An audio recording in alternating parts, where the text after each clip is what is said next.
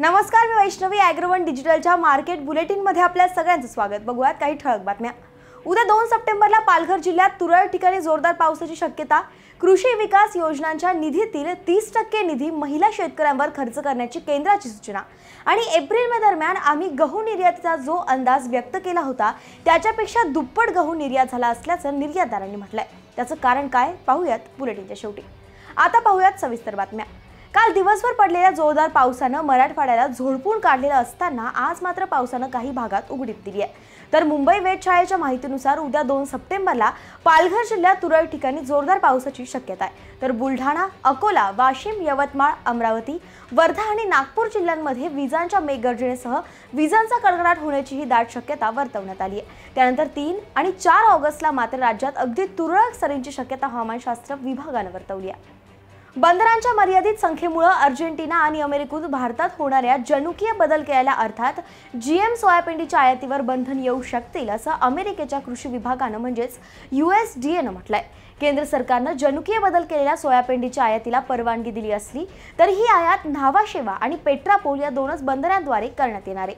तसंच ही आयात फक्त एकतीस ऑक्टोबरपर्यंत करता येणार आहे. त्यामुळं अडचणी निर्माण होतील असं यू एस डी एनं म्हटलंय.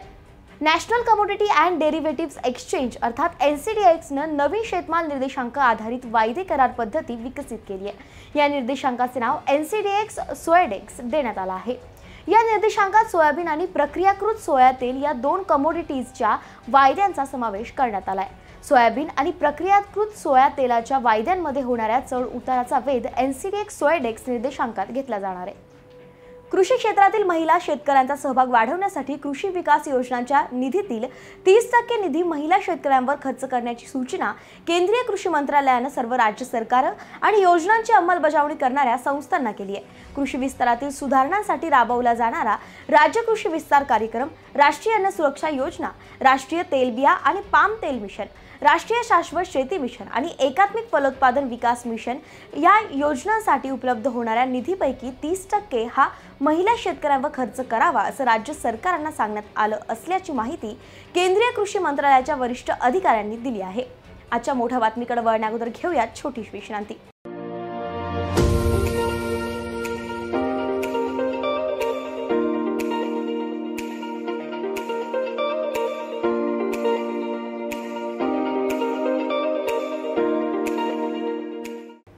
विश्रांतीनंतर आपलं पुन्हा एकदा स्वागत. आता पाहूयात आजची मोठी बातमी. अमेरिका रशिया आणि कॅनडातल्या गव्हाचं उत्पादन घटल्यानं भारतातून होणाऱ्या गहू निर्यातीत वाढ झाली असून जागतिक बाजारपेठेत भारतीय निर्यातदार या आर्थिक वर्षात मोठी भूमिका पार पाडू शकणार असल्याचा विश्वास बाजार अभ्यासकांनी व्यक्त केलाय. भारतीय गव्हाला आंतरराष्ट्रीय बाजारपेठेत चांगली मागणी असून या आर्थिक वर्षात भारताची गहू निर्यात दोन पूर्णांक पाच दशलक्ष टन ते तीन दशलक्ष टनाच्या घरात जाईल असा अंदाज वर्तवण्यात आलाय. आजपर्यंत भारतानं एक पूर्णांक पाच दशलक्ष टन गहू निर्यात केलाय. गेल्या आर्थिक वर्षात भारतानं चार हजार तेहतीस रुपये या दरानं दोन दशलक्ष टन गहू निर्यात केला होता. या आर्थिक वर्षात भारताला हा टप्पा गाठणं सहज शक्य होणार असल्याचं विश्लेषकांचं म्हणणं आहे. जागतिक बाजारपेठेतील नेहमीच्या गहू उत्पादक देशांकडून होणारा पुरवठा कमी झाल्यामुळं भारतीय गहू निर्यातदारांनी यंदा निर्यातीत बाजी मारली आहे. जागतिक बाजारातील गहू पुरवठादार देशांमध्ये गव्हाचं उत्पादन घटल्यामुळं भारतीय गव्हानं जोर धरलाय. याशिवाय भारताकडून गहू आयात करणाऱ्या नेहमीच्या देशांनीही भारतीय गव्हाची मागणी कायम ठेवली आहे. त्यामुळे जुलै महिन्यापासून भारताच्या गहू निर्यातीचं प्रमाण वाढलं आहे.